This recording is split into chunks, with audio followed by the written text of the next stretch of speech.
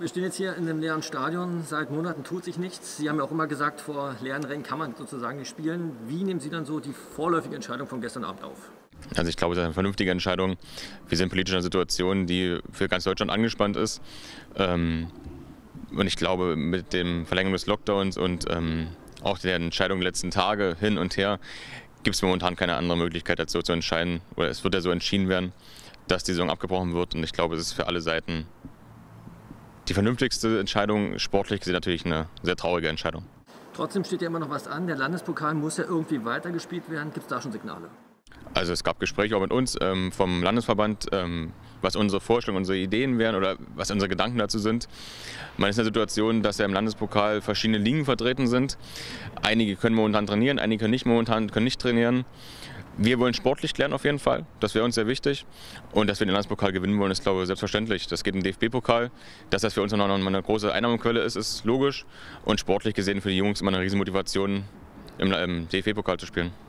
Sie sprechen gerade schon ein gutes Stichwort an. Einnahmequelle, umso mehr braucht man gerade das Finanzielle. Seit Mitte Dezember sind Sie jetzt Präsident. Sie haben ja auch erst mal wirklich äh, sich die ganzen Finanzen angeguckt. Welche wirtschaftliche Bilanz können Sie jetzt schon ziehen?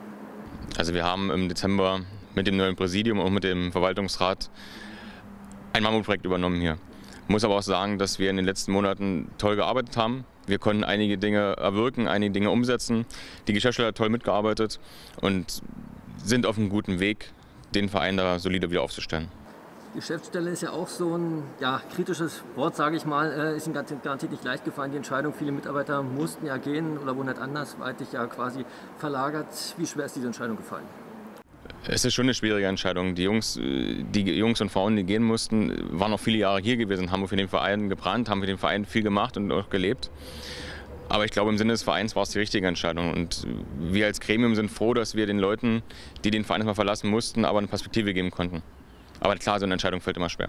Nun gibt es ja wahrscheinlich noch äh, ein paar mehr Einsparpotenziale. Sehen Sie noch irgendwelche Optionen, die man eventuell auch noch ziehen kann in nächster Zeit?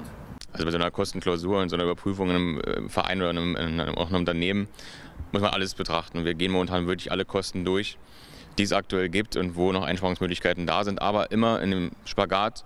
Wir wollen das sportlich natürlich nicht vernachlässigen. Großer Klotz ist ja nach wie vor das Staunen der Freundschaft, da machen Sie auch kein Geheimnis drum. War ja auch schon die letzten Jahre so. Ähm, da laufen ja aktuell die Gespräche. Kann man da vielleicht schon was dazu sagen? Also wir wollen uns auch ähm, nach außen zurückhalten. Ich kann nur sagen, wir sind wirklich in guten Gesprächen. Wir rennen da offene Türen ein, dass man uns helfen möchte. Es muss natürlich für beide Seiten immer passen. Wir sind da gemeinsam dran, Lösungen zu erarbeiten und Lösungen zu finden und hoffen, dass wir da auch irgendwie zeitnah eine Lösung finden werden.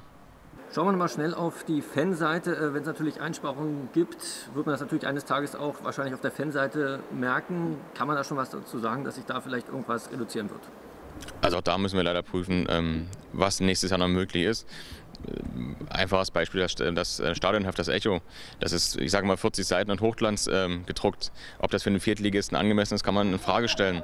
Und so gucken wir alle Dinge, auch kleine Dinge an, wo man da an kleinen Stellschrauben was reduzieren kann und da die Kosten zu sparen, wollen aber trotzdem auch für die Fans einen gewissen Service aufrechterhalten. Nun ist es auch so, viele ähm, Sponsoren glücklicherweise haben Energie immer die ja, immer die Treue sozusagen gehalten. Mhm. Nun wirkt sich da natürlich auch Corona aus. Gibt es da positive oder auch eher negative Signale? Also erstmal gibt es für mich nur positive Signale. Ähm, wir sind sehr, sehr dankbar, wie die Sponsoren reagieren wie die Sponsoren auch jetzt in die Gespräche mit uns reingehen. Es gibt Sponsoren, die haben sogar das Volumen erhöht. Da sind wir sehr, sehr, sehr dankbar.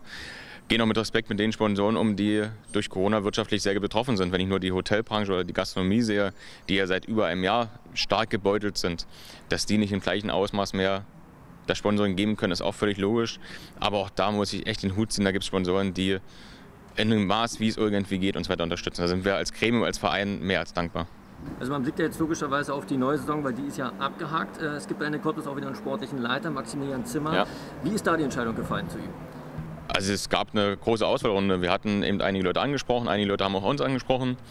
Wir hatten unsere Rahmenbedingungen, unsere Kriterien, wen wir haben wollten. Der, was er mitbringen muss, der sollte den Verein idealerweise kennen, der sollte sich im nordostdeutschen Fußball sehr gut auskennen, sollte zum Verein auch charakterlich passen und haben uns jetzt endlich für Maxi Zimmer entschieden. Und ich kann nur sagen, er hat für den Verein gebrannt, er hat sich damals in diesen Verein, in dieser Region verliebt und hoffen, dass er jetzt äh, uns helfen kann, wieder in ein anderes sportliches Werden zu kommen.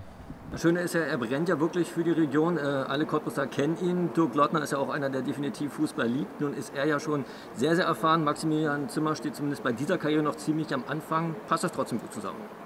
Ergänzt sich vielleicht sogar ziemlich gut. Ein erfahrener und ein junger. Ja, also ich denke, es kann passen. Aber wir sollten jetzt auch den Druck nicht zu hoch machen. Er muss jetzt anfangen. Die nächsten Wochen, Monate werden zeigen, was dabei rauskommt. Ich wünsche, dass er in Ruhe arbeiten kann und dass man gemeinschaftlich, sportlich wieder Erfolg haben. Was wünschen Sie sich denn von der neuen Mannschaft? Welche Impulse müssen da noch kommen in der neuen Saison? wir brauchen wir eine Mannschaft, die, weil wir haben, wir wollen eine Mannschaft haben, die für diesen Verein lebt und brennt, die auf dem Rasen zeigt, dass sie was zurückgeben möchte, dieser Region was zurückgeben möchte. Und idealerweise wollen wir natürlich auch eine Liga in Wörtchen mitdrehen. Es wurde auch immer wieder gesagt, äh, so ein bisschen hat die Zukunft auch der Nachwuchs. Das Nachwuchsleistungszentrum wird weiterhin ausgebaut. Ist das definitiv eine Perspektive für ND Cottbus, dass zukünftig noch mehr ja, der Nachwuchs in den Fokus kommt? Also wir haben ein Nachwuchsleistungszentrum, was sehr, sehr gut arbeitet. Wir haben eine Sportschule hier in Cottbus.